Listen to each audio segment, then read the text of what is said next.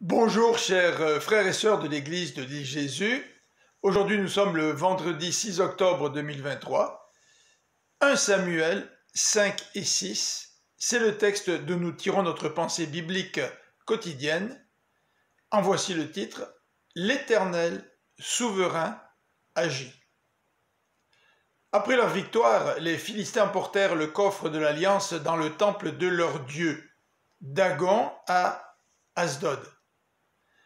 Dans sa souveraineté, l'Éternel va agir pour démontrer sa supériorité sur un Dieu païen. Le premier matin, on retrouva la statue de Dagon allongée sur le sol face contre terre devant le coffre de l'Éternel. Le jour suivant, la statue se retrouva de nouveau à terre, mais cette fois-ci, la tête et les deux mains coupées. L'Éternel va aussi frapper les habitants d'Asdod de tumeurs mortelles.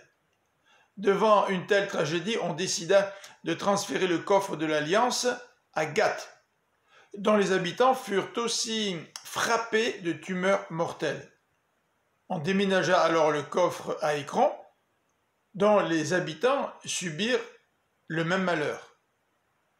Suivant les conseils de leurs prêtres, les Philistins placèrent alors le coffre de l'alliance sur un chariot tiré par deux vaches. Les prêtres leur avaient dit ceci.